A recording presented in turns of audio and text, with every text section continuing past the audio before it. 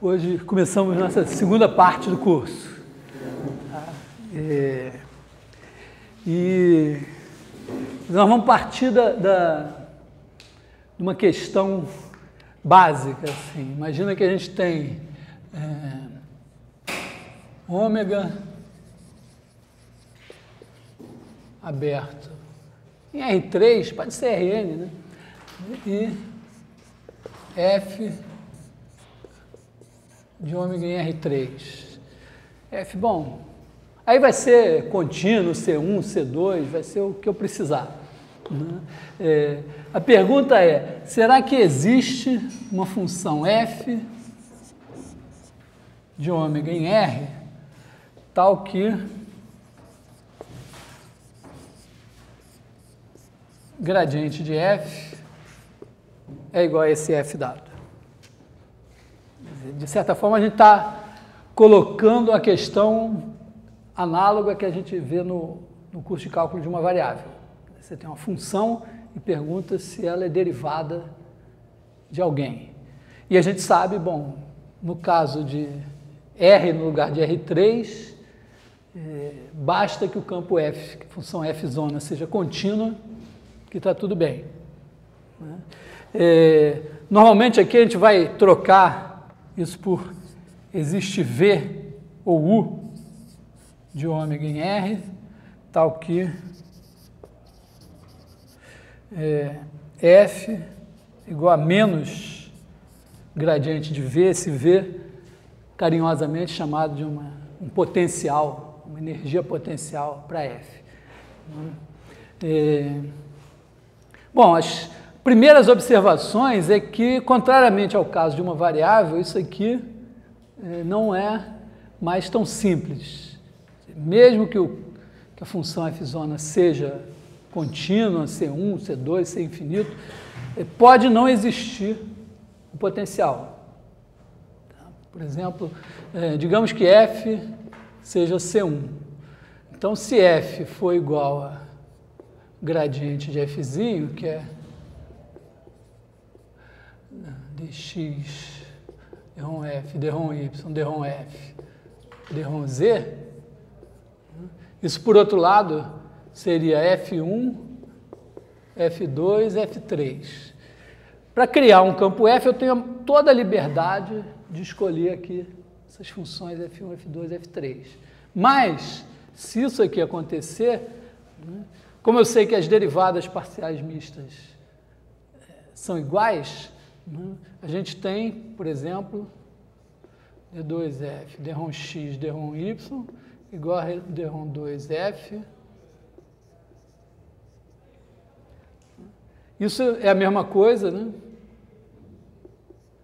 Que dizer que é, D F2, D X igual a D F1, D Y.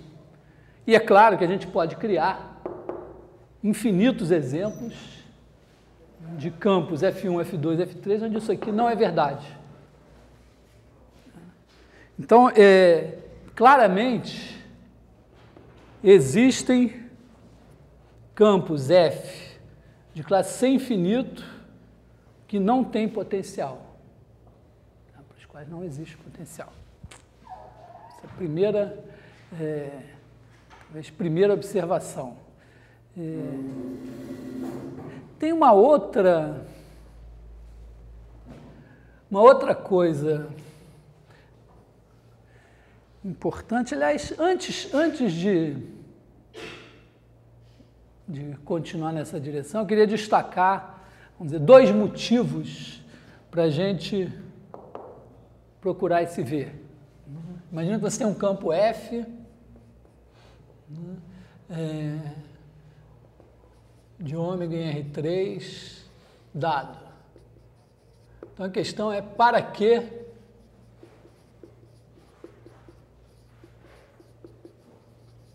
quero ver. Que motivo vou querer um ver assim. Tá? É, uma, uma razão é, seria, por exemplo, você considerar a seguinte questão. Imagina que você quer resolver a equação diferencial x ponto igual a f de x estudar o comportamento das soluções. Então, se no caso f de x é igual a menos gradiente de v de x, você tem a seguinte situação. Imagina que você tem aqui as linhas. Ah, vou pensar as superfícies de nível da V. Então você tem aqui o gradiente de V e esse daqui é o F. Então, você andar pelo fluxo de F é andar minimizando V. Então você tem uma boa, um conhecimento sobre V, já é um conhecimento sobre como funcionam as trajetórias. Tipicamente, por exemplo, uma situação assim, que você tem uma superfície fechada. Se você andou para dentro dessa superfície, você não pode mais sair. Porque você anda na direção contrária ao gradiente. Para cruzar a superfície, você teria que contrariar o, o fluxo. Então, é uma informação relevante. Toda vez que você está é, é, lidando com uma equação diferencial, esse tipo de, de informação pode ser extremamente útil. É, mas, é, talvez a, realmente a, a, a grande, o grande interesse é quando a gente trabalha com coisas do tipo m x dois pontos igual a f de x, que é igual a menos gradiente de v de x. Quer dizer, aqui você tem uma equação de segunda ordem, então F é um campo de forças. Né? Nesse caso a gente pensa o F como um campo de velocidade, aqui F é um campo de forças. E o fato dele ter um potencial? Bom, eu posso simplesmente chutar, né? digamos que eu acredite em energia cinética, energia potencial, mas é, é uma conta, eu posso chutar uma função E de xy, que seja um meio de m, é, norma de y ao quadrado, mais v de x. E aí, se a gente fizer E de x de t, x ponto de t, isso é igual a um meio de m, x ponto de t ao quadrado, mais v de x de t, e essa função é constante em t. Se você derivar isso, isso aqui vai dar, derivando aqui vai dar m x ponto de t escalar x dois pontos de t mais gradiente de v em x de t escalar x ponto de t. Como m x dois pontos é menos gradiente de v, isso daqui dá zero. É, obviamente é extremamente desonesto é, vir assim, chutar essa, essa energia, mas a gente pode, dizer assim, é, recomeçar a história pensando no ponto de vista estritamente matemático. Não quero saber de energia, de trabalho e tal, de nada. Vamos, vamos dizer, apagar o quadro, embora é, essas duas razões sejam bastante relevantes, a gente pode dizer, não, eu estou simplesmente interessado na questão abstrata de dado um campo de vetores, quero saber se ele é gradiente de alguém. É. Então, apago tudo. É. E vamos pensar aqui o ômega. É, claramente, né, é, essa função f, que eu vou tentar definir, é, ela não é única. Né? Se eu somar uma constante, gradiente uma constante dá zero. Então, eu teria liberdade, digamos que eu escolha aqui um ponto A, eu posso arbitrar o f de A.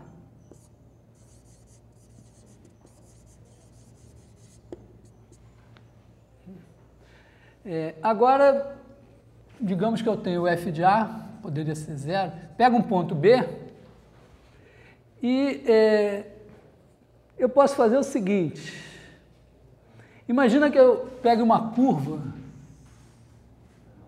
que começa em A e termina em B. Quer dizer, faço uma curva C do intervalo AB em ômega de classe C1 ou C2 ou C1 por partes, alguma coisa assim, né? tal que C de A é igual a Azão e C de Bzinho é igual a Bzão. Então ela começa em A e termina em B. Se eu fizer F bola C, isso é uma função de AB em R, dizer, supondo que a minha F exista. É, e bom, eu sei derivar essa função.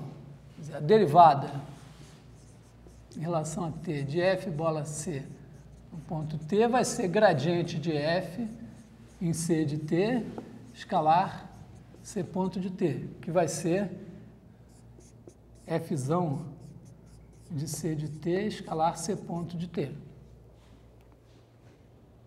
E, obviamente, é, eu tenho f de b é igual a f de a mais a integral de A até B da derivada né, porque isso aqui é F bola C de Bzinho e isso é F bola C de Azinho. Então, uso o teorema fundamental do cálculo. Então, isso aqui é igual a F de A mais a integral de A até B de f de c de t, escalar c ponto de t, dt. Que, para quem acredita nessas, nessas entidades físicas, né? tem gente que acredita em Deus, tem gente que acredita em espíritos, tem gente que acredita em trabalho, por exemplo. Né? Então, isso aqui seria o, o, o trabalho Pensando o F como um campo de força, seria o trabalho realizado por essa força quando eu caminho ao longo dessa trajetória. De qualquer maneira, o, o importante é que a gente tem isso, né? É, F de B menos F de A é igual a integral de A até B de F, Fzão, né?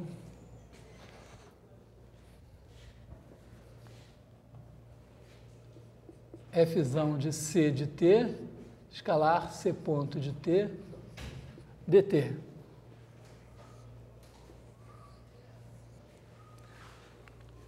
O que coloca uma restrição, uma nova restrição interessante, né? porque é, eu escolhi uma curva C assim, mas eu podia ter escolhido outra. Na verdade, qualquer curva que eu desenha aqui, começando em A, terminando em B, o resultado dessa integral tem que ser o mesmo. Então, dado um campo de vetores, bom, eu posso. É, eu acho que eu vou chamar isso aqui, né? Integral. Vou colocar assim como definição. Vou chamar integral de A até B de f de c de t escalar c ponto de t dt, vou chamar de integral do campo f sobre a curva c.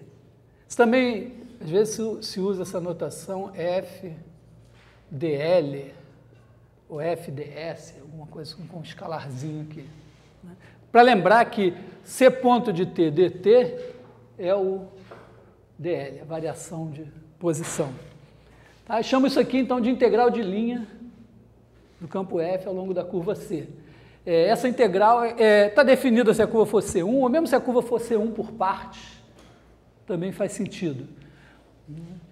E é, o que eu acabo de descobrir, primeiro, é que essa, essa integral é, é um, um, um instrumento matemático para reconstruir a função f a partir do seu gradiente.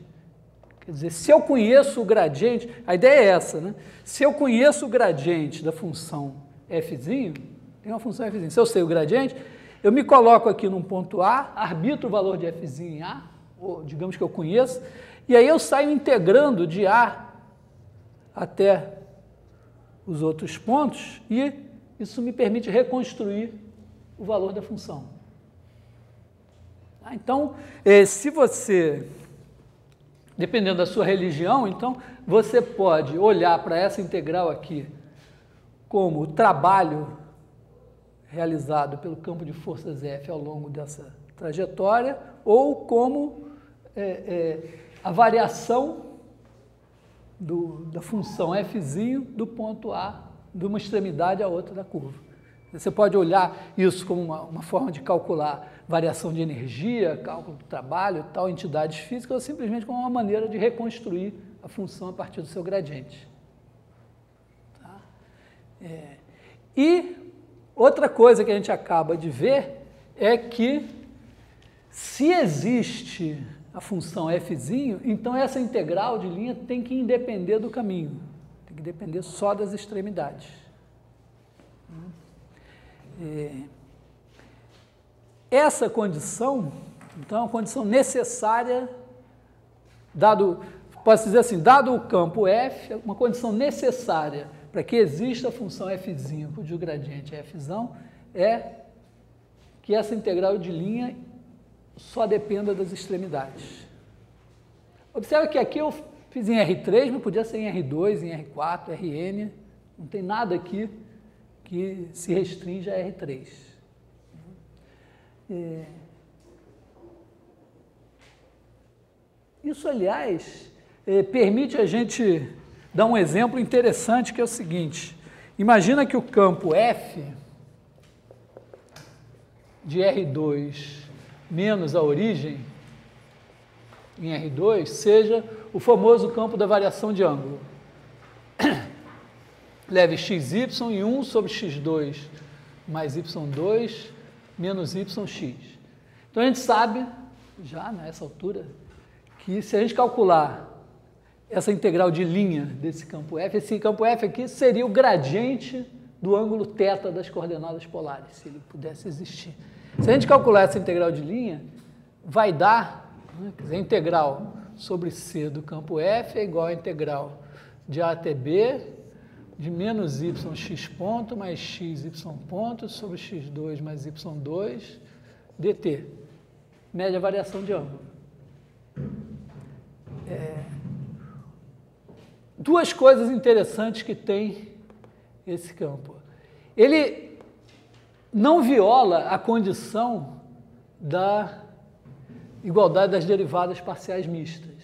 Quer dizer, se eu fizer a derivada em relação a y de menos y sobre x2 mais y2 e fizer a derivada em relação a x de x sobre x2 mais y2, dá igual. Então, esse campo em princípio, ele não tem nenhuma restrição algébrica, vamos dizer assim, para que ele seja eh, gradiente de alguém. No entanto, se você fizer, pegar aqui a origem, fizer uma curva fechada assim, uma curva C, fizer a integral sobre C desse campo F, ele mede a variação de ângulo, vai dar 2π. O que significa é, entre outras coisas, que se eu fizer a integral daqui até aqui, andando assim, vai dar π, e se eu fizer assim, vai dar menos π. Então, nesse caso, essa integral de linha, ela depende do caminho. Logo, esse campo não é gradiente de alguém, pelo menos não de alguém definido nessa região. É, dá para remendar da seguinte maneira, é, se trocar a região, se em vez de ser o R2 menos a origem, fizer o R2 menos uma linha que vai até o infinito, aí você não pode mais dar a volta em torno da origem. Então você não vai conseguir construir duas linhas, uma que saia daqui, ande nesse sentido, e outra que ande nesse sentido. Aí tudo bem. Numa região assim, esse campo F vai ser gradiente de alguém, que seria o θ das coordenadas polares. Então é, é interessante, isso, isso é um, um diferencial, dizer, entre um matemático médio e um físico médio. Tá? É, um físico médio acredita que se essas derivadas parciais, o engenheiro médio nem sabe o que é isso, mas o, o, o físico médio é, acredita que se essas derivadas parciais são iguais, então existe um potencial.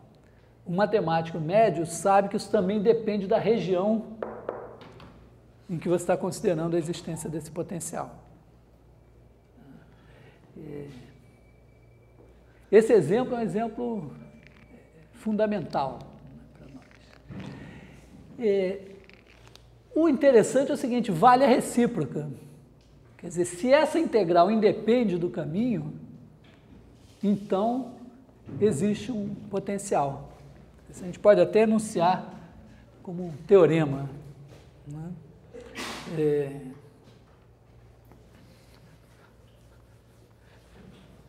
vamos colocar assim como. Nas, isso aqui. Nas minhas, na primeira versão que eu, do, do meu livro, esse teorema era um exercício. Agora, fiquei mais velho, comecei a fazer mais concessões, virou um teorema. Então, é, quer dizer, o que, que, que é equivalente? A existência desse F, a independência do caminho, ou uma outra coisa que é equivalente é que se você fizer a integral ao longo de um caminho fechado, vai dar zero. Tá? Então, seria é, 1, isso daqui, 2, é, integral de f sobre C1 é igual a integral de f sobre C2, é, para todo C1 e C2, C1 por partes, com mesmas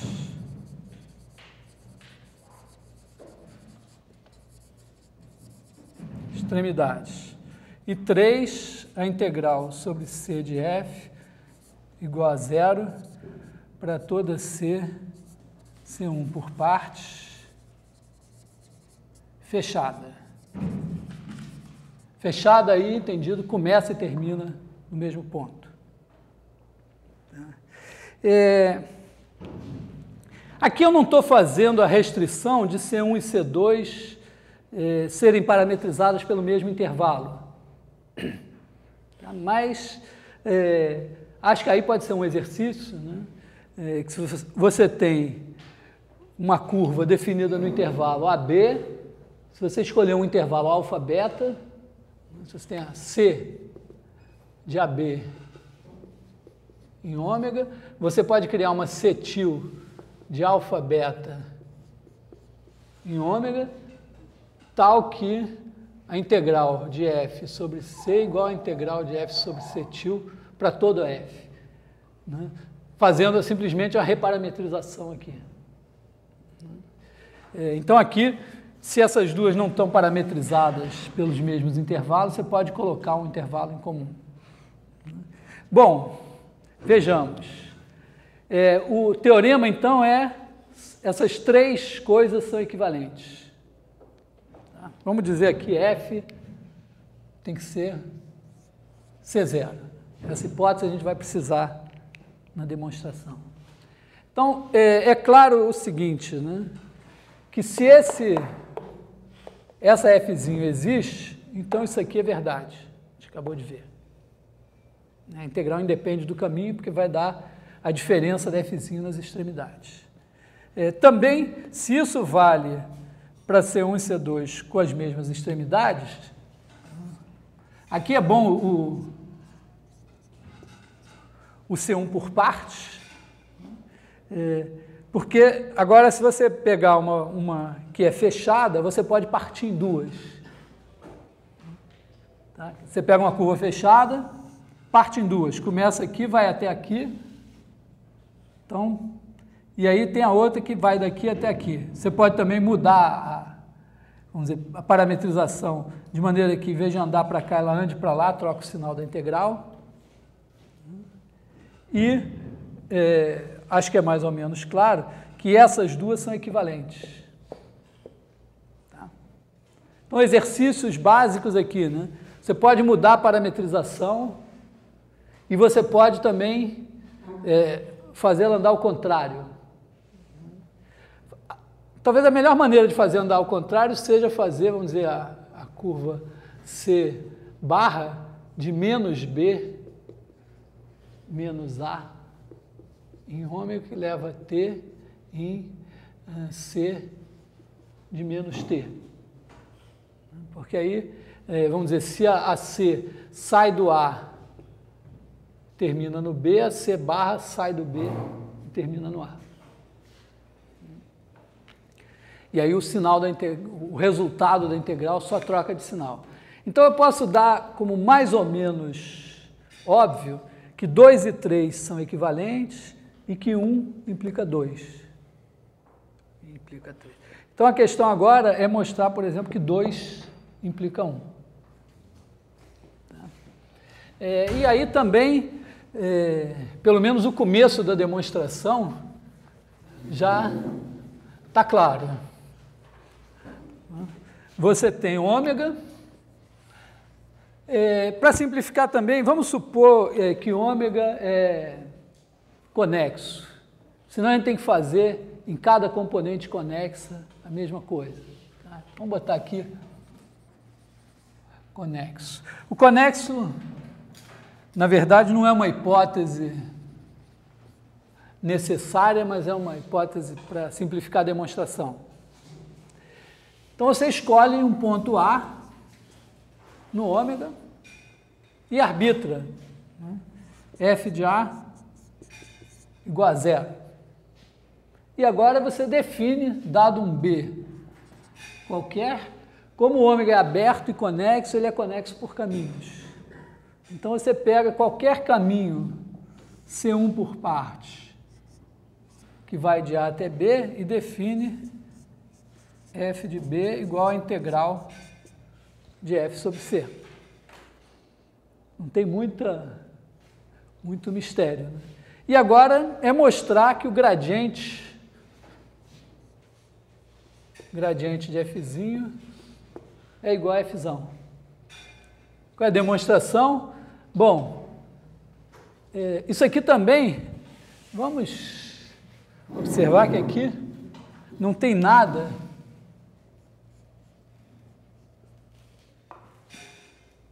que exija que n igual a 3, pode ser 2. 1 não tem muita graça, né? mas é, 1 a gente já sabe. É, então, digamos que você está aqui no ponto B e você quer saber o gradiente de f em B.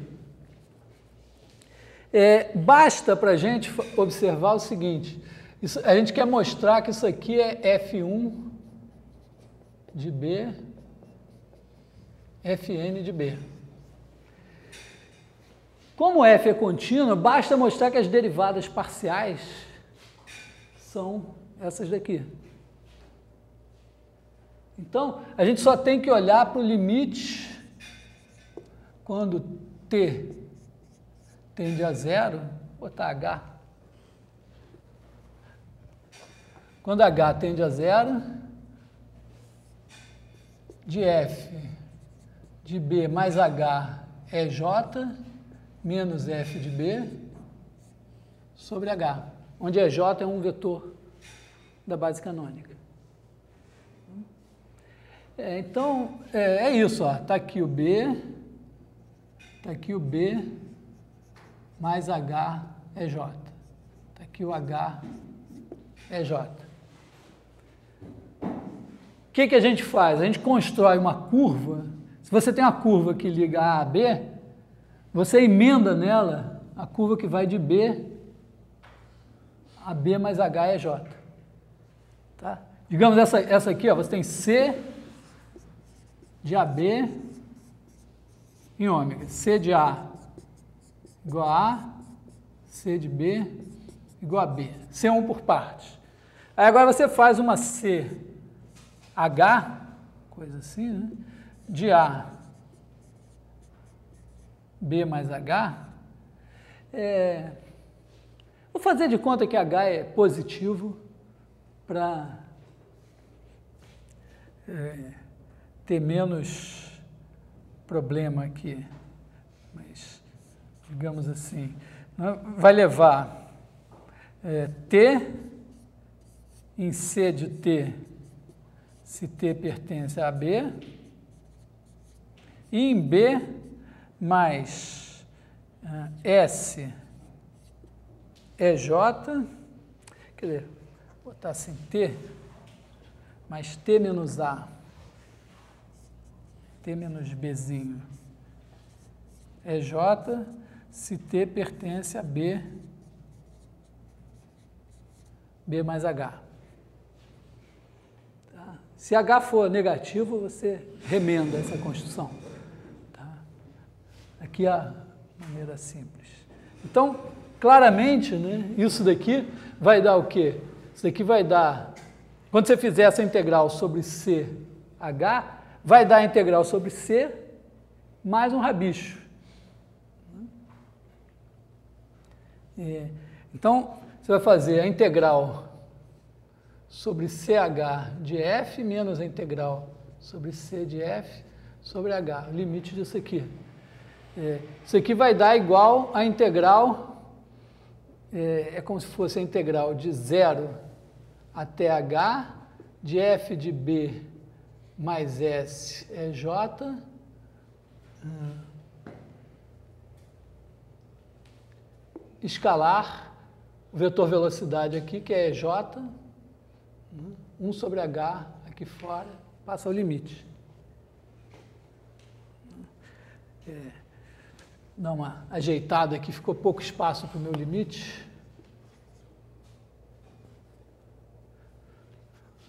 Agora, isso daqui dá, isso aqui é o limite, quando H tende a zero, de 1 sobre H, integral de 0 a H, de FJ de B mais SEJ ds. Teorema fundamental do cálculo, estou integrando, uma, aqui entra a continuidade, estou né? integrando uma função contínua no intervalo 0h, dividindo por h, esse limite é FJ de B. Então, está demonstrado que a derivada parcial na direção J, F, J de B.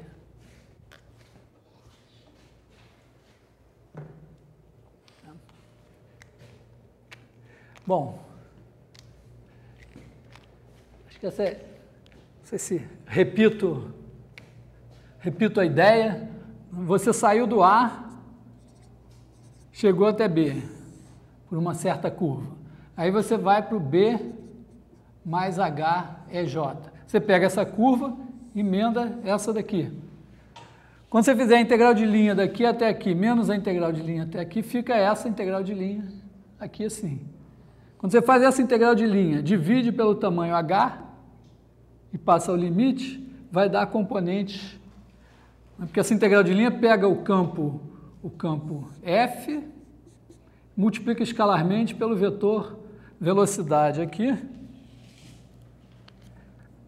que é o vetor EJ. Então dá a componente J do F. Aí você integra, divide pelo H, dá aquilo lá.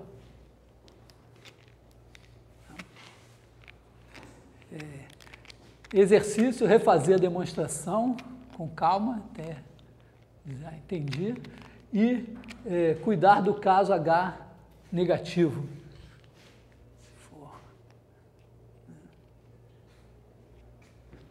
fica menos bonitinho. Bom, de qualquer maneira, isso é um teorema, condição necessária e suficiente é, para o nosso campo ser conservativo. Então, nós temos é, um. Dizer, esse teorema mais esse exemplo, F de R2 menos 0, 0 em R2, que a cada xy associa 1 sobre x2 mais y2 menos yx, são o nosso dizer, capital inicial nessa história. Né? É... Tá, quer dizer, aqui então tem a, a definição da integral de linha, é, já aparece aqui no próprio resultado. Também a gente pode usar essa integral de linha para é, retornar aquela conservação da energia. Vou apagar aqui e vou retomar a questão da conservação da energia que eu tinha abandonado. Ou pelo menos vou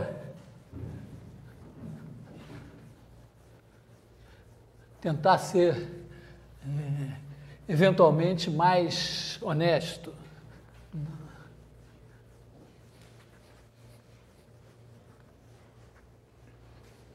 É, digamos que, que a gente está mx, dois pontos, igual a f de x. Quer dizer, tem uma trajetória, aqui assim, você está caminhando aqui, é, x de t, então aqui você tem x de a, agora x é x1, x2, x3, etc. Né? É, e você tem aqui a aceleração, ponto x de t, aqui é o x, dois pontos de t, vezes a massa, isso dá o f de x de t. É, muito bem, é, se você olhar para a integral de linha de f sobre a curva x, isso daqui é, vai dar a integral de a até b de f de x de t, escalar x ponto de t, dt, é, que é igual, já que está valendo essa equação, a integral de a até b de m x dois pontos de t, escalar x ponto de t, dt. E isso aqui, claramente, né, é a derivada da metade do produto escalar de x ponto por x ponto. Quer dizer, isso aqui é igual à integral de a até b da metade de m x ponto de t ao quadrado dt. É, d, é, d dt. Então, Acredite eu, agora eu acabei de inventar a energia cinética, mesmo não acreditando, dizer, digamos que eu acredite em lei de Newton, sei lá, nunca sei se é segunda, primeira, tem uma lei de Newton que diz isso aqui. Então, se eu acredito que está valendo essa lei, ou simplesmente eh, inventei de dizer que minha trajetória satisfaz a essa condição aqui. Então, é, o que eu estou vendo é que essa integral de linha me dá 1 meio de m x ponto de b ao quadrado menos 1 meio de mx ponto de a ao quadrado.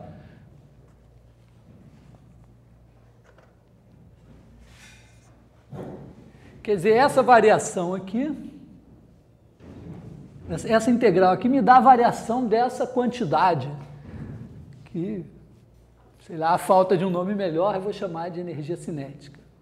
Tá é, agora, se ainda por cima, né, se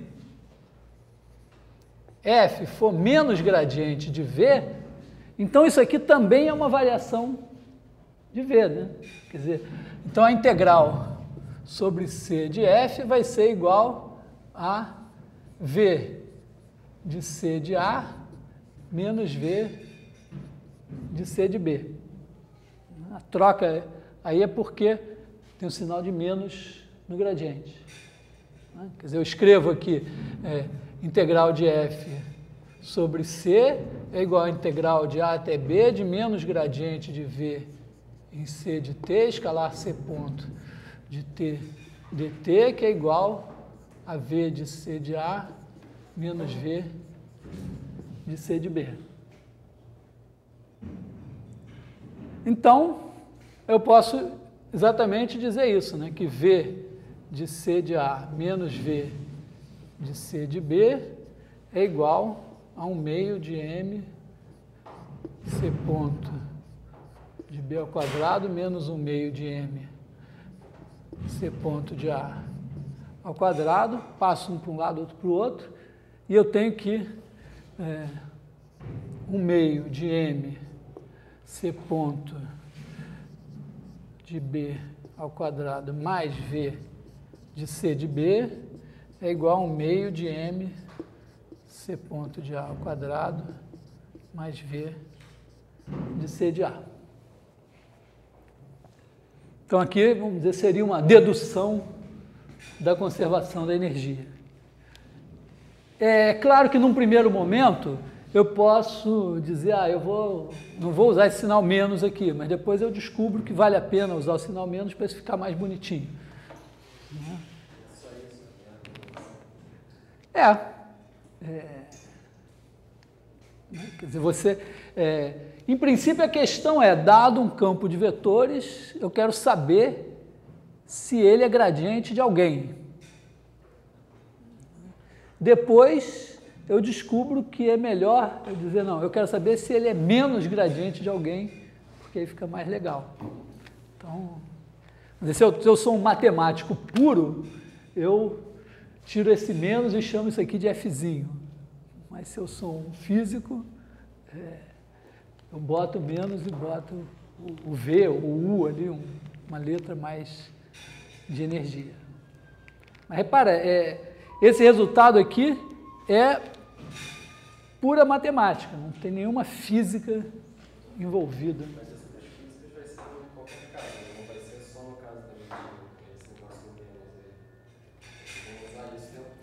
É, em geral, então, em geral, depois você começa a descobrir. É, é claro que isso é um truque que funciona tão bem. Né? Você vê várias coisas, você começa a, a, a, fundamentar a partir daí, ou fazer várias descobertas a partir daí, que as pessoas começam a dizer, poxa, é sempre legal ter uma, uma energia que se conserva. Aí eu não sei se, é, não sei dizer se as pessoas começam a encontrar várias situações em que tem uma energia que se conserva, então começam a acreditar nessa religião, ou elas simplesmente olham para isso e dizem, poxa, isso é tão legal que elas passam a procurar situações em que há energia que se conserva. De qualquer maneira, acho que é uma questão realmente teológica. Né?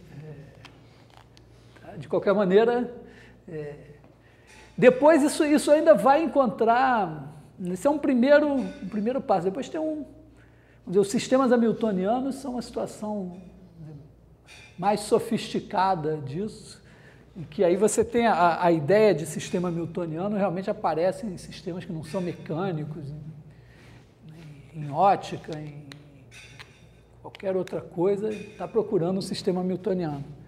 Mas por enquanto é isso. É... Bom, suposto, acho que posso agora partir para uma segunda questão. É, a segunda questão seria a seguinte: tudo bem, agora eu já entendo como é que é um campo ser conservativo. É, mas eu sei também que os campos não precisam ser conservativos. Então, eu gostaria de alguma maneira de medir o quanto que um campo deixa de ser conservativo. Ah, a questão é essa.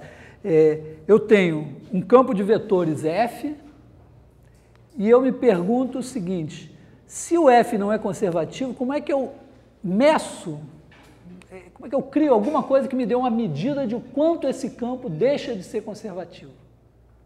Então, é essa pergunta que eu vou tentar é, investigar agora.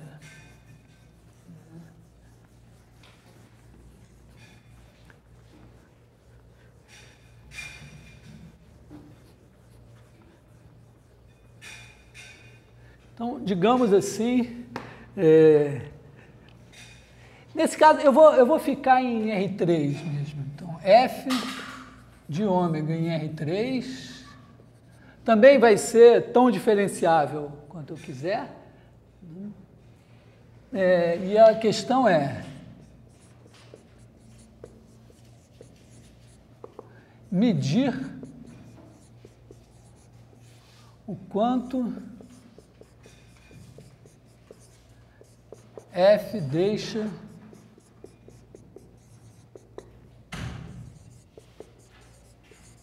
de ser conservativo.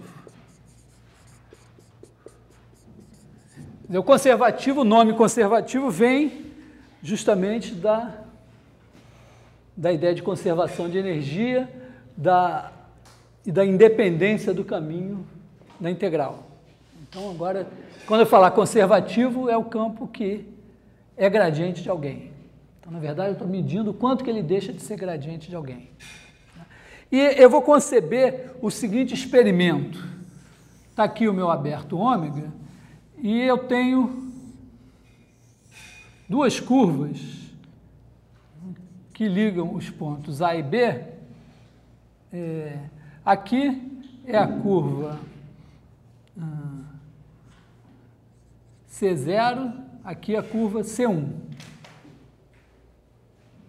É, em princípio, né, se o campo é conservativo, essa integral de linha é a mesma.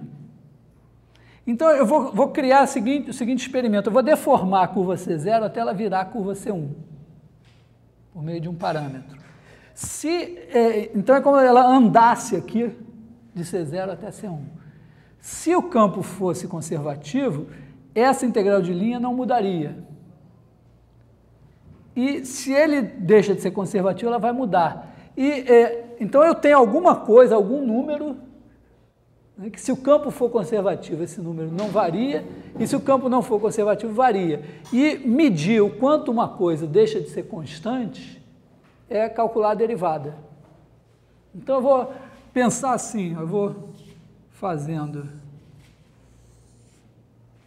essas curvas C índice S, então eu crio é, C índice S, né, com S variando de 0 a 1, por exemplo, né, e C índice S é uma curva que vai de AB em ômega, com C índice S de Azinho é igual a Azão, C índice S de Bzinho é igual a Bzão. E eu crio uma função I de S que é igual à integral sobre C índice S do campo F.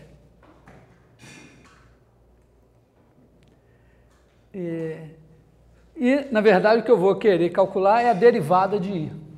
Né? Isso agora é uma função de um parâmetro. Para é, fazer as contas, eu vou fazer o seguinte, eu vou é, criar uma função φ, está aqui o S, está aqui o T. O T varia de A até B e o S varia de 0 a 1. Então, para cada valor de S, eu tenho T variando de A até B e produzindo uma curva lá. Isso aqui cria uma função φ. Então, eu tenho φ de 0,1 vezes AB em ômega, que a cada par ST associa CS de T, que eu vou chamar de φ de ST. Repara que a φ parametriza uma superfície aqui, que é a superfície descrita pela curva C, índice S, quando S varia. É, e, então, I de S vai ser igual a integral de A até B, de F de φ de ST, escalar a derivada do C índice S, que é a derivada de φ em relação a T.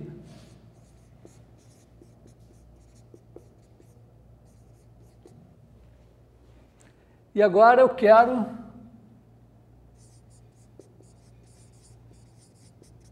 calcular a derivada de. Esse negócio anda, e eu quero saber como é que muda essa integral de linha. Então, como muda a integral de linha? Deriva aqui. Então, é, nós aprendemos a derivada do sinal de integral é, para isso. Né? Então, I'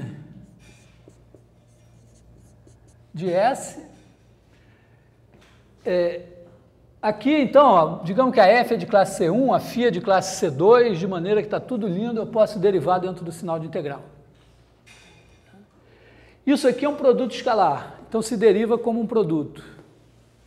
Então essa derivada vai me dar derivada desse, escalar esse, mais esse, escalar derivada desse. Então isso aqui vai dar integral de A até B, a derivada disso vai ser F' de φ de ST aplicado em derrom φ, derrom S de ST, escalar derrom φ, derrom T de ST dt, mais a integral de A até B de f de φ de ST, escalar a derivada segunda de φ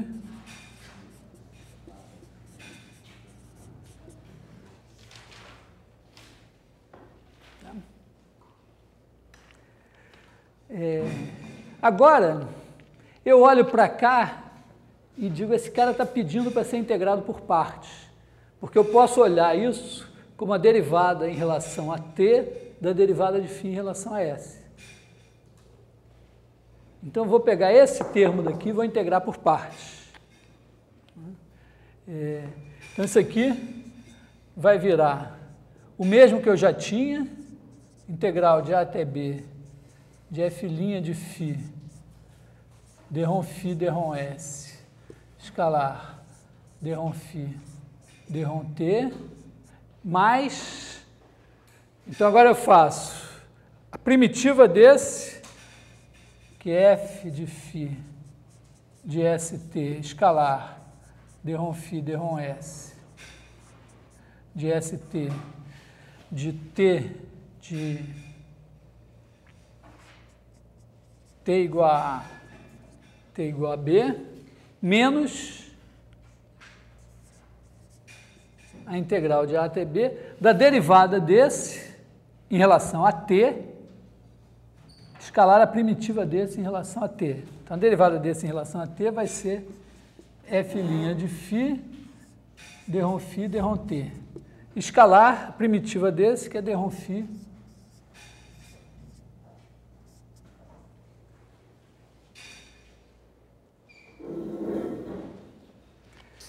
É... Então, é, a gente aprende a calcular essas derivadas todas, não é para ficar calculando derivada de x2. Né? É. Aqui faltou um, um DTzinho, né? É. Aqui faltou um DT e ali é DT.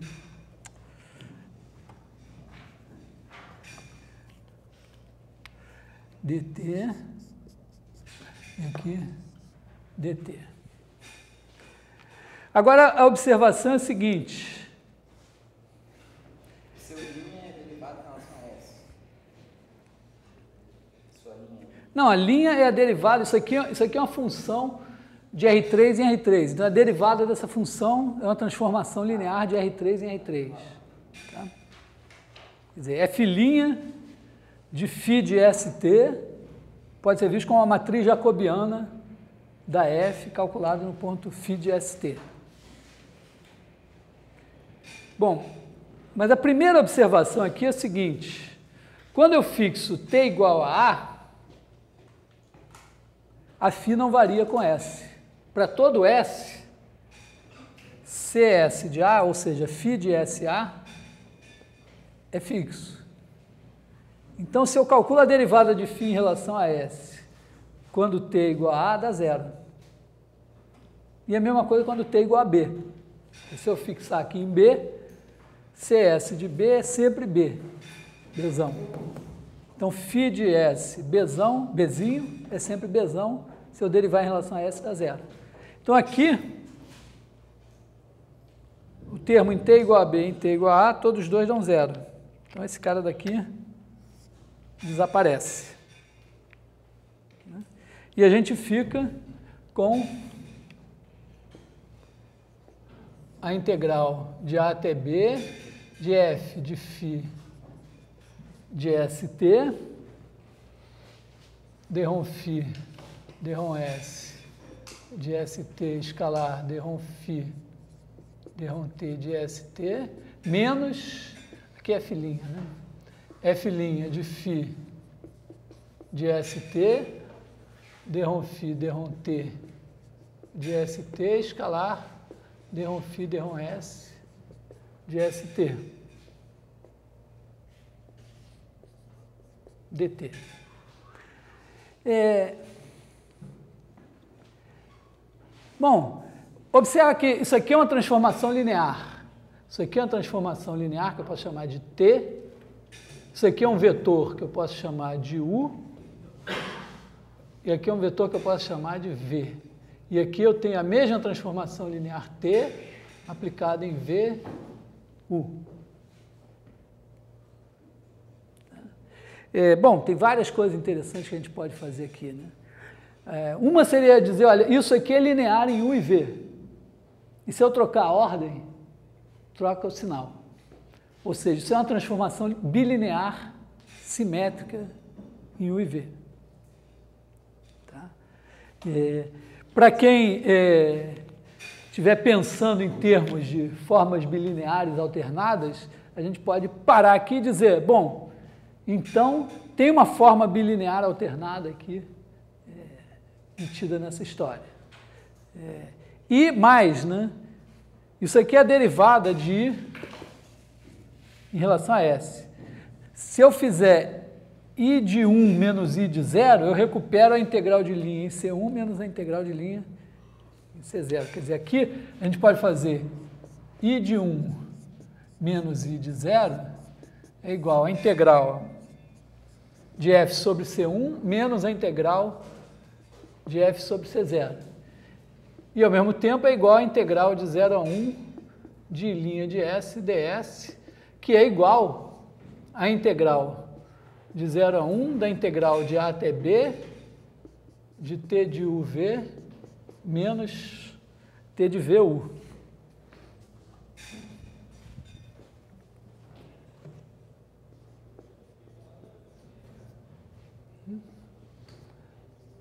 de TDS. Quer dizer, tem alguma uma forma bilinear alternada que está sendo integrada aqui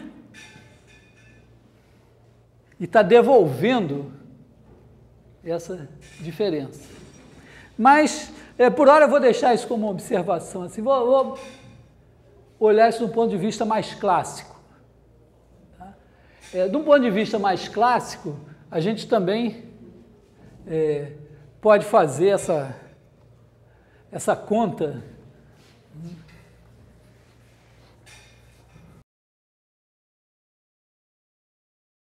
V T estrela de U, isso é igual a T menos T estrela de UV. Então também posso olhar para isso dessa maneira.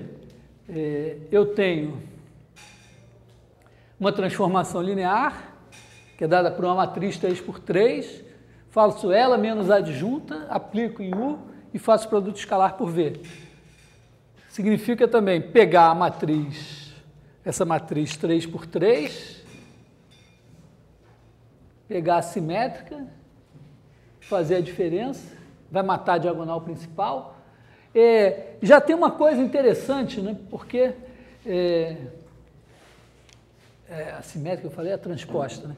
Quando você fizer a matriz menos a transposta, vai dar uma coisa que só, só tem três entradas relevantes, porque vai ficar uma matriz é, antissimétrica. Né?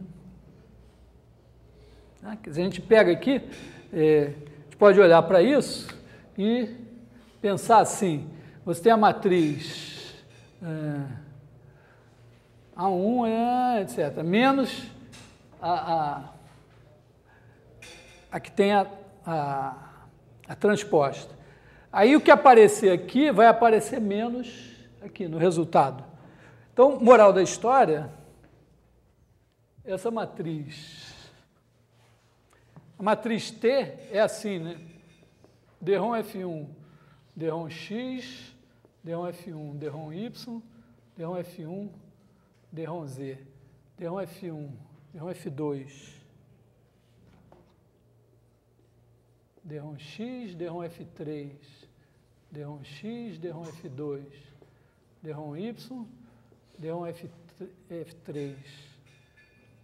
Y, Derrom F2, Derrom Z, e Derrom F3, é, Derrom Z. É, faz parte da compreensão do curso sempre saber distinguir onde é 2 e onde é Z. Quem está entendendo está sabendo onde é 2 e onde é Z. Então eu vou fazer essa menos assimétrica, isso aqui vai me dar uma matriz que no fim, né, é, ela menos a transposta, vai dar uma matriz que vai ter uma cara assim, né? Vai ser 0, A, B, 0, C, 0, menos A, menos B, menos C. Aí isso vai, a gente vai multiplicar escalarmente pelo vetor 1, vai multiplicar escalarmente não, vai multiplicar pelo vetor 1, o 2, o 1, o 2, o 3, e vai multiplicar escalarmente por V1, V2, V3.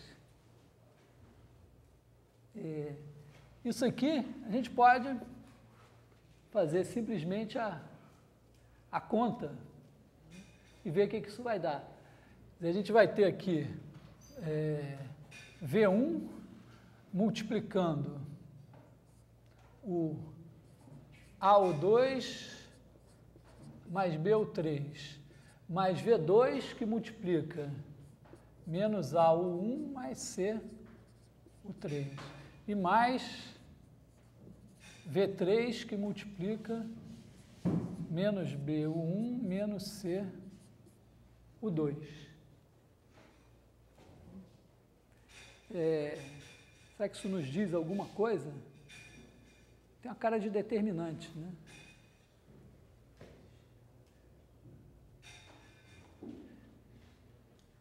Tem uma cara de determinante? Vamos, escrever em termos de determinante. Se eu botar aqui V1, V2, V3, ó, é, eu chutaria botar aqui o 1,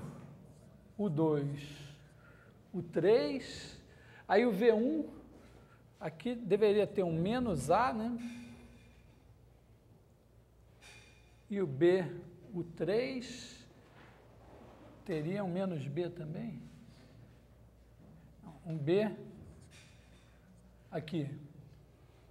O V2 tem é, menos A1, C aqui, V2 troca o sinal.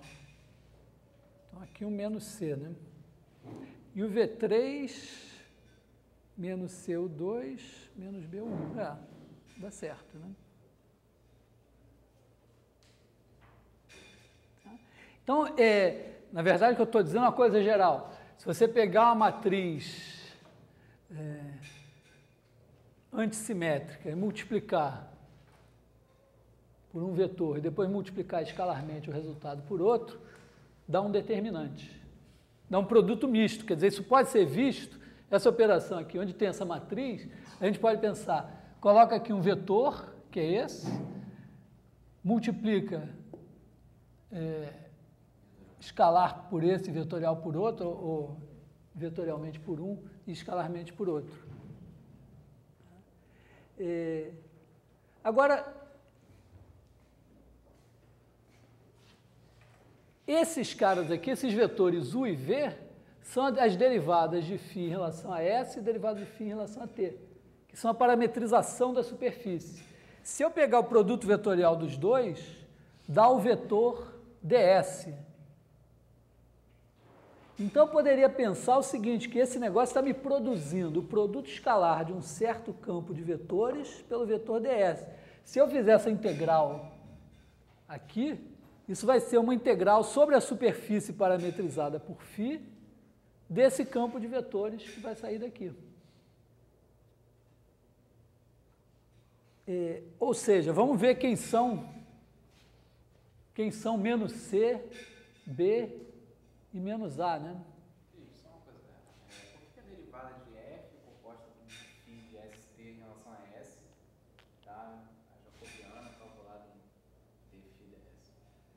Ah, isso é a regra da cadeia. Eu tenho, eu tenho uma F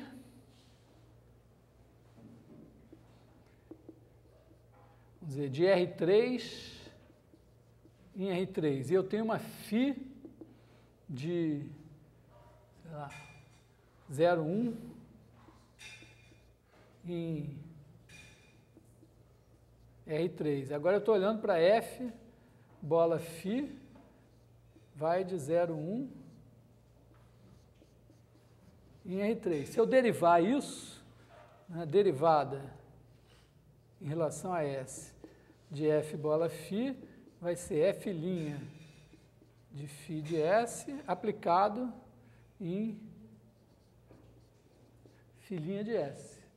Só que no caso aqui a φ, na verdade é de ST, então aqui eu tenho a, a derivada dessa transformação de R3 em R3, que é dada pela matriz jacobiana, aplicado no ponto φ, quer dizer, calculado no ponto φ, aplicado na derivada em relação a S. É, bom, é, é, é o cálculo diferencial. No fundo, se eu dissesse assim, se eu dissesse, eu tenho Fzinha, eu tenho F1 de R3 em R.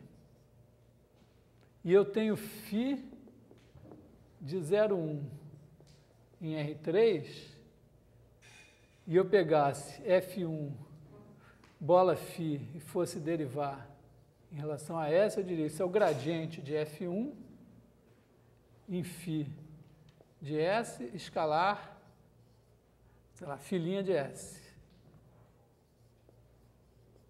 Se eu fizer a mesma coisa para F2, você vai concordar F3 também. Ora, o gradiente de F1 vai ser DROM F1, DROM X, DROM F1, DROM Y, DROM F1, DROM Z. A F', no caso ali, vai ser DROM F1, DROM S, DROM F2, DROM S, DROM F3, DROM S. É esse produto aqui. Depois, se você fizer para F2 e F3, você vai reconhecer. É, então, na verdade, é, é, é eu não estou explicando nada, eu estou só transferindo para o caso que você diz, não, esse eu, eu me sinto confortável com o gradiente. Então, quando você tem a F de R3 em R3, você pode pensar que você tem F1, F2, F3 de R3 em R. É... Bom, bem, podemos retomar. Então, retomando a nossa história, O que eu entendi foi o seguinte, olha, que nessa conta apareceu magicamente é, essa diferença que eu consegui expressar como sendo é, como sendo o produto misto do vetor menos c, b, menos a, escalar o produto vetorial de u por v. Como esse produto vetorial de U por V me dá o, o vetor ds, que parametriza essa superfície aqui, o que eu estou vendo aparecer diante dos meus olhos é o seguinte, é que a diferença entre essa integral de linha aqui e essa integral de linha aqui é dada por uma integral de superfície. Tem alguma coisa que eu vou ter que calcular agora. Eu estou dizendo assim, está aparecendo a seguinte coisa. É, é, quando é, eu calculo a integral de linha aqui, e calculo a integral de linha aqui, se eu andar daqui para cá descrevendo uma superfície, a diferença entre essa integral de linha e essa daqui é a integral de alguma coisa sobre essa superfície. Assim como no caso do gradiente, quando eu pego uma função, calculo aqui, pego a função, calculo aqui, se eu andar daqui até aqui, a diferença entre o valor da função aqui e o valor da função aqui é a integral sobre essa curva do gradiente. Então, está parecendo que tem uma nova derivada surgindo aqui, né, que é algo que eu integro para achar a diferença entre as integrais de linha. É, essa derivada é, vai ter o quê? O menos C. Menos C é esse cara que está aqui. Né? É a derivada de F2 em relação a Z, na verdade é menos a derivada de F2 em relação a Z, mais a derivada de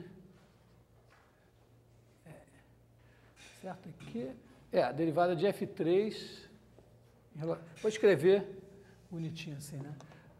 Pegar o de baixo. A derivada de F3 em relação a Y menos a derivada de F2 em relação a Z. O B está ali, é a derivada de uh, F1 em relação a z menos a derivada de f3 em relação a x. E o menos a é a derivada de f2 em relação a x menos a derivada de f1 em relação a y.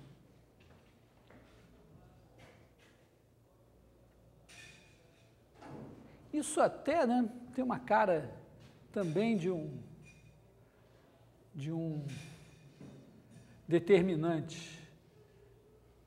Porque olha só, se eu botar aqui F1, F2, F3, derrom, derrom X, derrom, derrom Y, derrom, derrom Z, é 1, é 2, é 3, pegar esse determinante, eu tenho D1 F3, D1 Y, menos D1 F2, D1 Z. D1 F1, D1 Z, menos D1 F3, D1 X. E D1 F2, D1 X, menos D1 F1. Quer dizer, isso aqui, é, esse cara daqui, eu posso também chamar do produto vetorial desse operador nabla pelo F. De qualquer maneira, esse campo de vetores aqui aparece nessa história. Então, é, moral dessa conta é a seguinte, né? A integral de f sobre C1 menos a integral de f sobre C0 é igual à integral de 0 a 1 da integral de A até B desse bicho aqui, em φ, escalar derrom φ, derrom S de ST. Vou apagar o resto.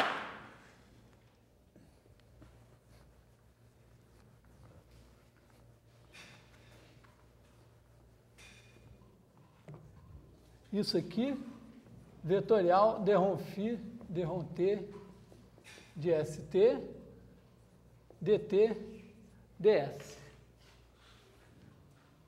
É, considerando que quando eu vario S de 0 a 1 e T de A até B, é, φ de ST parametriza essa superfície aqui,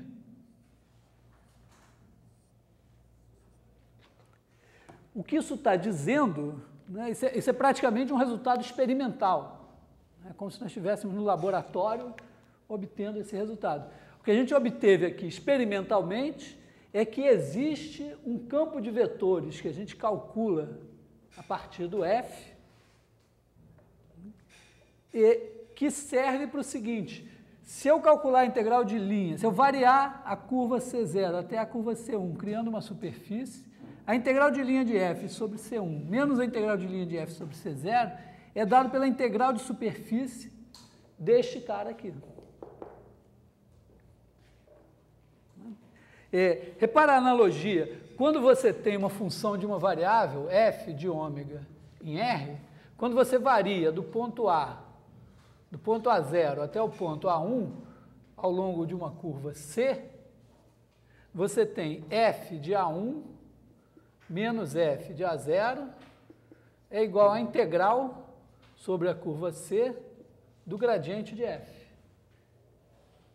Quer dizer, a, a, função f, a partir da função f, você calcula um campo de vetores gradiente de f, que tem integral de linha, e a integral de linha do gradiente serve para você recuperar a diferença do valor de f em A1 para o valor em A0.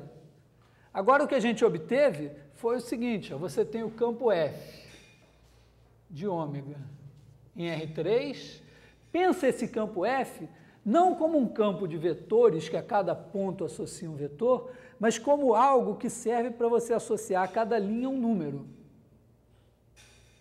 Então aqui você tem a linha C0, que começa aqui e termina aqui, e você tem a linha C1 que começa e termina nos mesmos pontos. E aí quando você anda da linha C0 até a linha C1, você cria uma superfície parametrizada por φ aqui. E o que a gente acabou de obter é que a integral do campo f sobre C1 menos a integral do campo f sobre C0 é dado pela integral sobre essa superfície do campo desse cara que eu vou chamar de rotacional de f.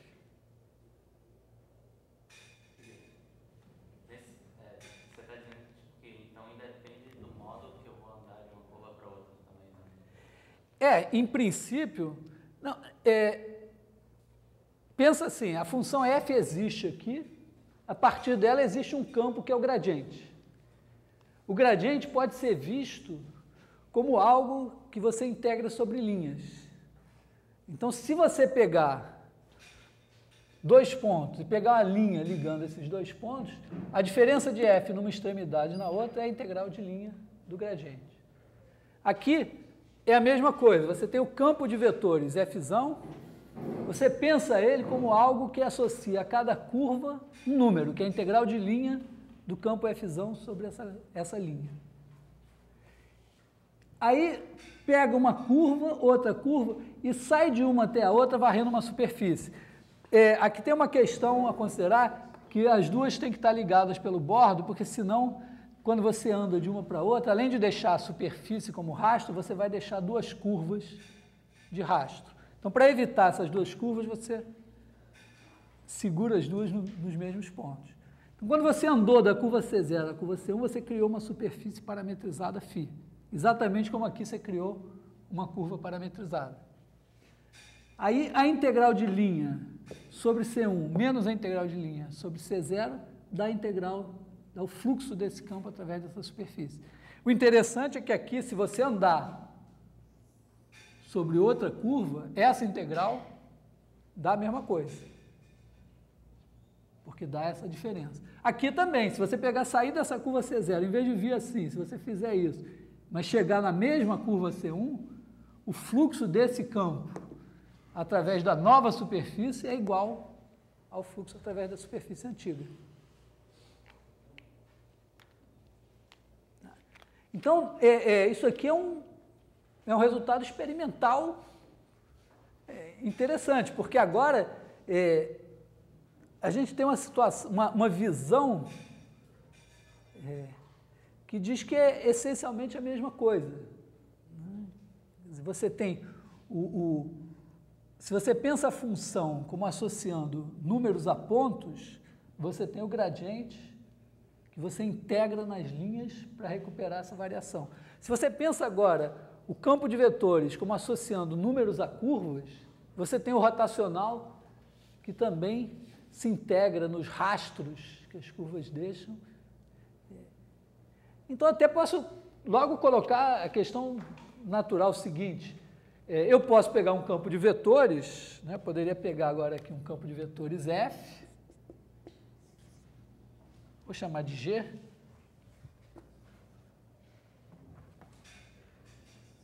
de ômega em R3. E pensar o G não como associando a cada linha um número, mas como associando a cada superfície um número. É um campo de vetores, eu posso fazer a integral de superfície. É, aí eu poderia também pegar a seguinte coisa, pega uma superfície aqui e pega outra superfície com o mesmo bordo.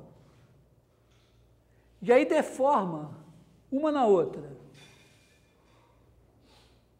Então deve ter alguma coisa que você integra nesse espaço que você varre quando você vai de uma superfície para outra, para recuperar a diferença entre as integrais de superfície. Provavelmente se a gente fizer a mesma, a mesma conta, a gente vai obter alguma coisa assim. É, na verdade, é, a gente pode fazer isso mesmo e vai obter a, a divergência. Tá?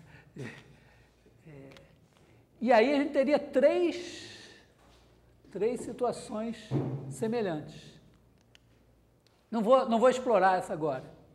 No momento vamos pensar nisso aqui. Quer dizer, a gente tem uma, uma nova derivada aparecendo aqui nessa história. Né? É, observa, inclusive, que essa derivada, ó, esse rotacional, ele joga com as derivadas parciais mistas. Quer dizer, se o f se F1, F2, F3 fosse gradiente de alguém, isso dava zero trivialmente. Pelo menos desde que tivesse segunda derivada. Daria zero. Mas é, é, é mais, né? você poderia dizer, ah, isso aqui você poderia construir só pensando algebricamente. Né? Se o f fosse gradiente de alguém, esses três caras tinham que dar zero, então essas três diferenças são de alguma maneira a medida de quanto que ele deixa de ser conservativo. Mas aqui gente tem uma, uma coisa precisa, né? ele, ele mede mesmo, ele mede a variação. A questão do Maxwell na época, então, era isso, a questão original de conservativo. Olha, para mim é um pouco difícil dizer, eu ainda não, não, não, não estudei bem a história desse negócio, né? O, o, assim, primeiro, vamos dizer, acredita-se que o primeiro a, a, obter esse resultado seja o Kelvin. Embora em R2 esse resultado apareça também em outros lugares e tal. É, e dizer, a, lenda é essa, a lenda não, a história é o Kelvin obteve isso e ele mandou uma carta para o Stokes contando, e o Stokes achou muito legal, botou numa questão de exame e o teorema ficou conhecido como teorema de Stokes. E mais, esse teorema se generalizou de tal maneira, e a generalização é muito parecida com essa versão, então o teorema geral, é, em dimensões maiores, é conhecido como teorema de Stokes, embora é, muita gente tenha demonstrado várias versões desse teorema e nenhuma dessas pessoas seja o Stokes. Mas eu, é, ficou assim. Uma coisa que assim, quando você define essa, essa entre as duas curvas, C0 e C1, você depois você tem que assumir que essa φ não é uma homotopia qualquer. Você precisa que ela seja diferencial em relação a essa. Então você pode é. derivada dentro do sinal do é. Só que, em princípio, com homotopia você só queria, assim, no princípio faria sentido você admitir que ela seja só contínua em relação a S e tenha derivadas em relação a T. Né? É, é verdade que na hora que eu fiz as contas, eu integrei por partes, quer dizer, eu derivei e depois integrei por partes. Quando eu derivei, apareceu a derivada segunda da φ. Então, preciso de uma derivada segunda. Depois eu integrei por partes, sumiu. O enunciado todo mostra que eu só deveria precisar, como você falou, das derivadas primeiras de φ. Talvez assim, C1 para poder garantir que isso é integrável, minimamente. É, de fato, é, é possível a gente refazer essa demonstração é, sem supor que φ tem a segunda derivada. E mesmo sem supor, é, na realidade a gente pode é, fazer um próximo passo que seria é, acho que eu não vou fazer ele agora, mas seria o seguinte: pega uma curva C0 pega uma curva C1, aí deforma C0 até virar C1 e cria uma φ. Isso parametriza uma certa φ aqui. É claro que quando você faz isso, você vai ficar com esse menos esse.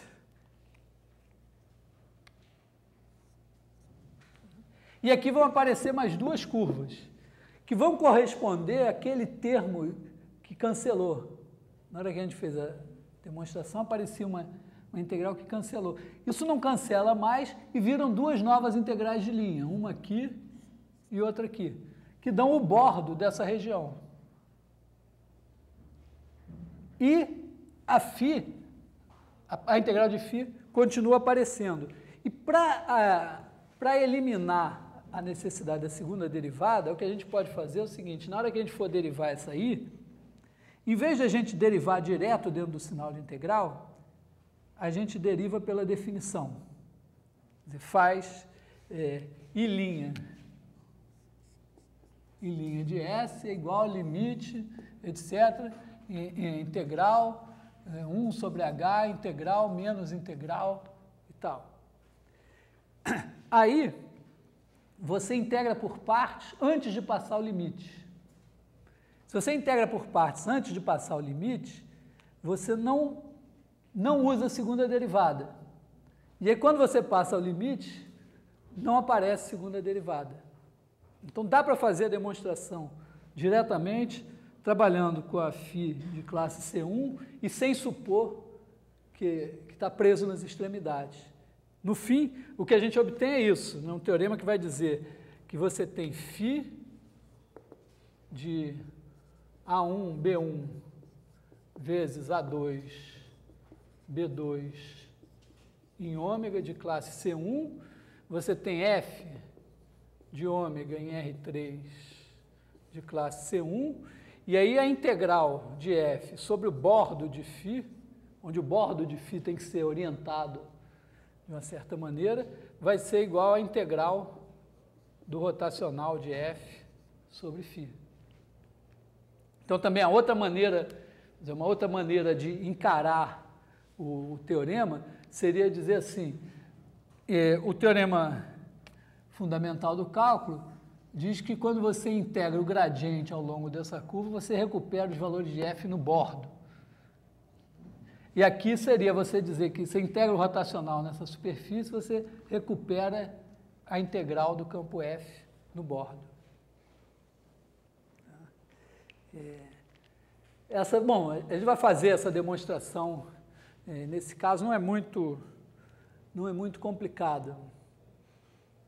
É, mas e aquela história de, por exemplo, se você tem uma, é, sim, você quer achar uma gradiente é aquela dada função e você mostrou que isso só é possível se é, a integral de... depende do caminho. Né? Vale uma coisa parecida para o rotacional? É, aqui, olha, então aqui é, claramente aparece a, a, a restrição topológica, ou seja, a questão dos buracos.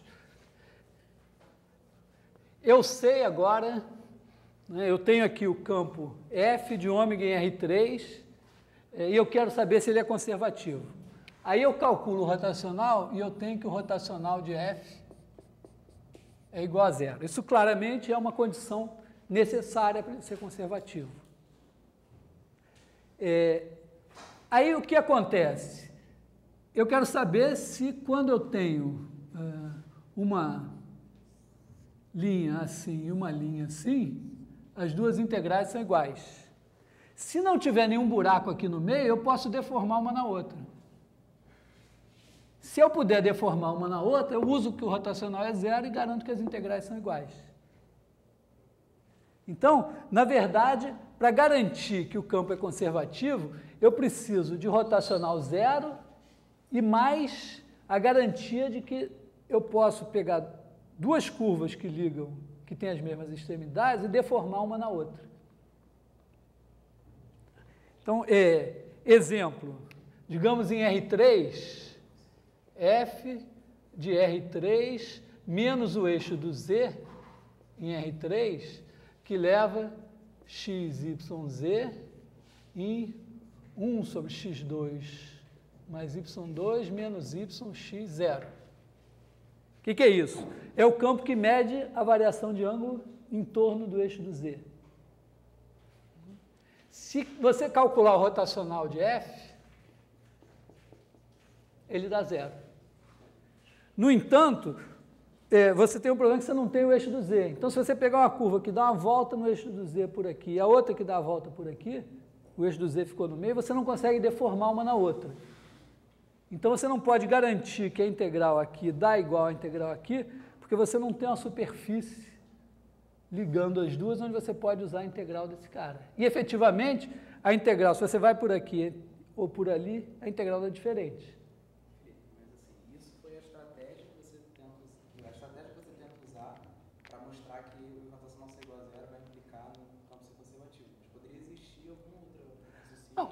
Não, é claro que eu posso pegar, eu, eu posso pegar um campo conservativo. Não, assim, eu quero falar o seguinte. Ah. É, mesmo que, que essa sua relação é zero, é claro que e você conseguir deformar uma coisa pela outra, claro que as integrais vão dar iguais. Mas a volta não vale, necessariamente. Sim. Assim, digo, por exemplo, se. Assim, se as duas coisas são iguais, não significa que existe uma superfície que, que se vai de um lado sim. para o outro. É, eu queria dizer, pode acontecer de você ter um, um, um, um, campo cujo rotacional é zero, você ter um aberto, tipo esse daqui, aí você não pode usar o teorema, mas mesmo assim o campo pode ser conservativo. Tipo, pega em R3 um campo conservativo, sei lá, pega f de x igual a x. Não, x não é, a, x não. É, pega primeiro uma função f, f de x igual a alguma coisa, sei lá, x1. Aí pega o gradiente de f de x, 1, 0, 0. Chama isso aqui de f de x. Obviamente, esse campo é conservativo, eu já tenho potencial. Obviamente, o rotacional dele é zero. Só que em vez de dizer que esse campo está definido em R3, diz que ele está definido aqui, em R3 menos o eixo do Z. Então você não vai poder usar o teorema, você vai poder dizer, ah, o rotacional é zero, mas ele está definido numa região em que eu não posso pegar qualquer curva indo por aqui, deformar numa curva indo por ali, não posso aplicar o teorema, então não posso dizer nada. Tudo bem, o teorema não vai dizer nada, mas isso não, não quer dizer que o campo deixou de ser conservativo continua sendo. A questão é que realmente é, a condição do rotacional ser zero, ela só garante que o campo é conservativo na, pres na presença, não, na ausência de buracos. Então é uma condição que localmente. Então é, é, é como dizer o seguinte: olha, esse campo aqui, se você, em vez de olhar ele no espaço todo, você olhar numa bolinha, tem um potencial. Se você olhar em outra bolinha, tem um potencial. Em outra bolinha, tem um potencial. Na hora que você tentar juntar tudo, se é, você quiser juntar tudo de maneira a ter essa região toda, não vai colar.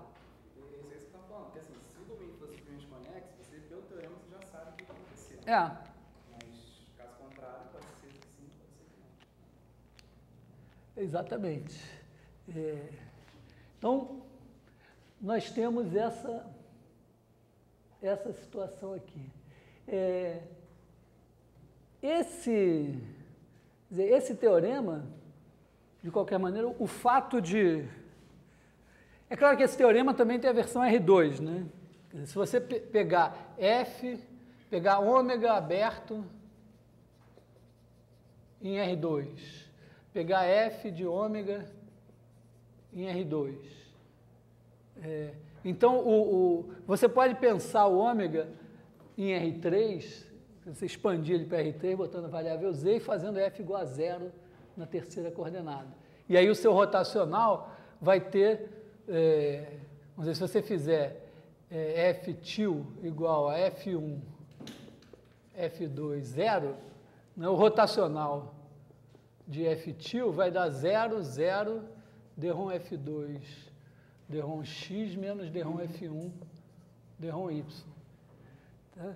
É, esses dois aqui, pelo seguinte, as derivadas desses caras aqui em relação a Z são zero, porque eles só dependem de X e Y. E esse daqui tem todas as derivadas iguais a zero. Então só não dá zero nessa daqui.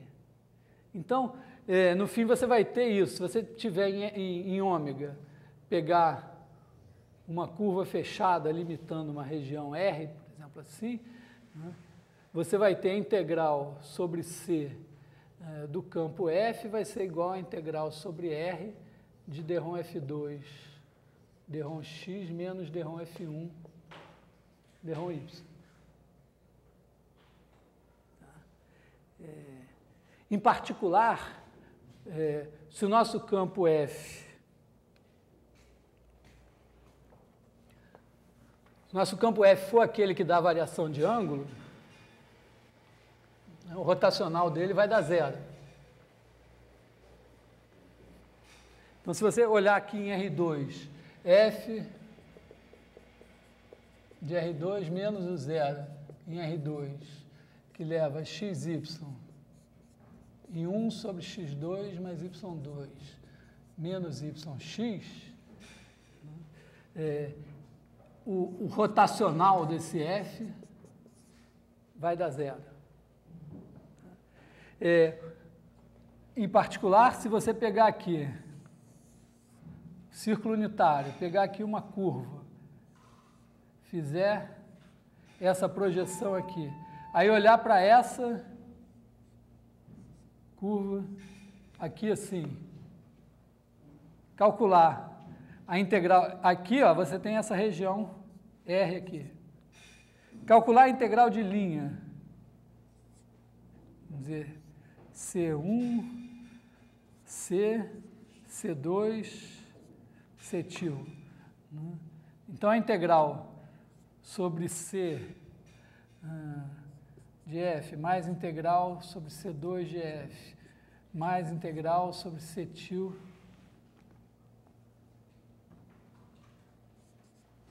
de F mais integral sobre C1 de F vai dar igual a integral sobre R do rotacional de F, que vai dar zero. Ao mesmo tempo, ó, o F ele é perpendicular a C1 e a C2. Porque aqui, ó, aqui é o ponto xy e ele é menos yx. Então essas duas integrais aqui dão zero. Então está dizendo que a integral aqui é igual à integral aqui. É, e a integral aqui é clara, vamos dizer, é mais claramente a variação de ângulo, né? porque aqui é x2 mais y2 é 1. É, é, agora, o, o interessante, usando esse campo daqui e o pouco que a gente sabe, a gente consegue demonstrar o teorema fundamental da álgebra e consegue demonstrar o teorema de Brouwer. A gente pode demonstrar o seguinte teorema em R2, né?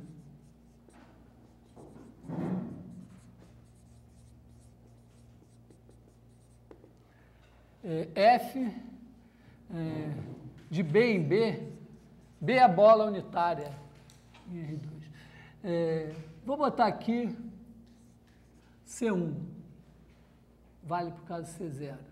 Então existe X pertencente a B, tal que f de x igual a x.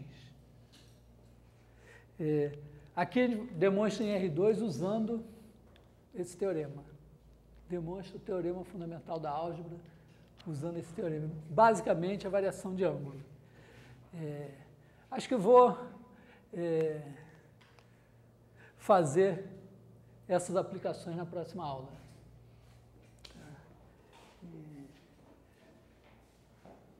Bom, não sei se ficou. Quer dizer, na, na verdade, nós fizemos hoje dois teoremas importantes. Né? Um que é, associa a existência de um potencial à é, invariância por caminhos da integral de linha. E outro que cria o rotacional, quer dizer, cria uma derivada de tal maneira que quando você é, anda de uma curva até outra, mantendo as extremidades fixas, a integral de linha no fim menos a integral de linha no começo é a integral na superfície que foi criada de alguma coisa que apareceu aí, que é o rotacional. Esse é o, é o teorema principal desse curso. É, e, de certa forma, o, o, o nosso trabalho daqui para frente vai consistir é, em fazer aplicações desse teorema e trabalhar para entender ele melhor, para dar, para construir uma teoria, ou seja, criar uma história coerente de tal forma que a gente possa dizer que a gente entende o teorema. É como se a gente estivesse diante de um, de um fenômeno natural. A gente ouviu uma trovoada, caiu um raio e pegou fogo em tudo. E aí a gente precisa inventar uma história que, obviamente, vai ser que existe um Deus do trovão e do relâmpago que lança esse raio e que é, faz a gente se sentir mais tranquilo e dizer, bom, agora eu entendo. Então, de certa forma, vou, a gente vai procurar, ao longo desse curso, inventar o Deus do trovão que vai permitir a gente finalmente entender o que está acontecendo quando cai um, um raio sobre a Terra. É essa a ideia.